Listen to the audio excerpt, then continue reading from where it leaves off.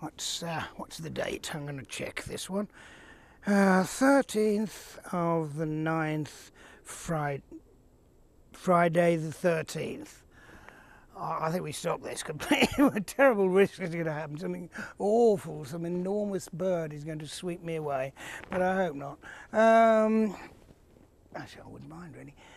It's that time of year, though. The point being, middle of September it's, it's, it's a wonderful time to be a bird watcher because, as they say, anything can happen because there's so much movement going on. There's the summer birds, for example, like the swallows and the house martins and the various warblers, are all on the way out of the country. They're off down to Africa.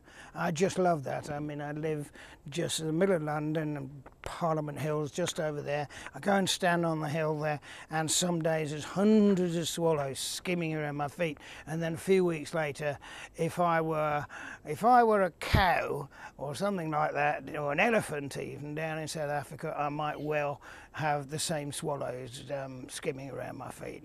You can get more under an elephant than you can under me, much easier. And um, so there's all that going on. At the same time, it changes so quickly because as soon as you hit October, or even the last couple of days of September, that's when you begin to get the winter visitors coming in.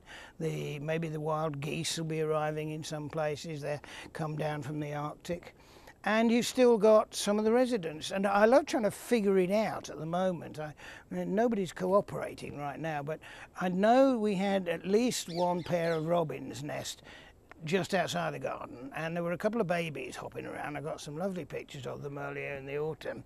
And now, oh, there's bang on cue, but you'll never get it. Uh, there's there, Robin. You see, doing what he's not supposed. That really makes my point. That Robin, who was hanging on that. Come back and show them on that feeder. Now that feeder with sunflower seeds, I'm sure wouldn't say suitable for robins. It's not what you'd expect. Blue tits, great tits, all that sort of thing, but the robins, very sensible, very intelligent, figured out, why just them? I'll try these sunflower seeds. And now he's gone away because he realises he's not behaving like a robin's supposed to do. But I don't know whether that's um, mum or dad from the summer or a couple of the youngsters uh, that, that are knocking about and have now got their nice red fronts. Turn round, camera behind you. You have on this close feeder. Now he's he's not going to be able to get in here. That's why I put this one there.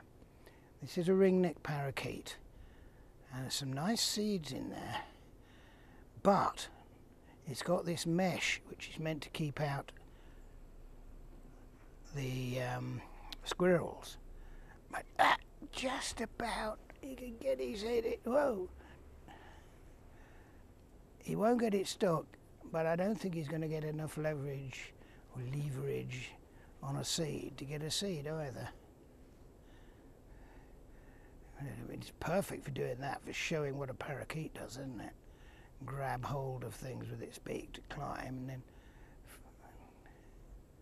watch these for hours, I really can. By the way, an obvious question often asked, are they forcing out our native birds? There's no evidence at the moment that they are a problem, and they have been around in around London in particular for something like 30 or 40 years. So if something bad was going to happen, I think it would have happened by now. But uh, no, I think they're an acceptable addition, except Except that my neighbours hate them because they make a lot of noise. Actually, the neighbours make quite a lot of noise sometimes. And they don't fly around and dangle off branches. And they're not green. Here they're coming. This is the even, late afternoon gathering. Blue tits coming and going like I think it's been quite a good year for blue tits, the impression I'm getting, because I'm seeing a lot of youngsters. It's so hard to know. People often say, you know, and you get in the papers, good year for this, bad year for this. But, you know, it can be observations from one place or one area can be very misleading, and you might find somewhere else in the country um, is completely different. And I do think we've got a shift of our birds in Britain at the moment, in particular. Um, there's a lot of evidence for this that birds, particularly migrants, are beginning to nest further and further north. And that's pretty certainly global warming, weather changing. There's a greenfinch. Good reason to keep your clean, your feeders clean, because greenfinches are very apt to pick up this fungal disease, and it's pretty nasty when you get it. But um, keeping the feeders clean will always help. I'm lecturing myself now. I need to do that. They're coming and going, isn't there? This is probably because it's been raining most of the morning. This is the first chance they've had. And they look down and they see myself and our, our agile cameraman down here and think, uh, well, we wouldn't normally go down and muck around, but we're hungry. Where's the woodpecker? And here's prejudice. You've never heard him, never thought you'd hear me say this. Never thought I'd hear myself say this. But one bird I am coming to, um, I would say hate. That's too strong, but kind of get annoyed with and that's my feral pigeons which are running around right now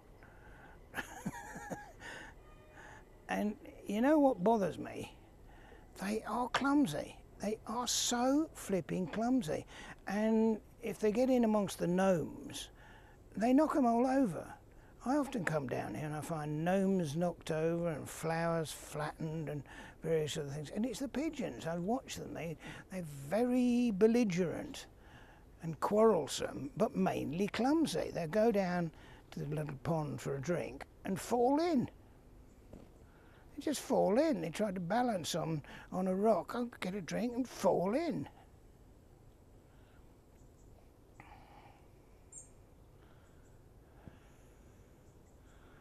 Female chaffinch, there a youngster.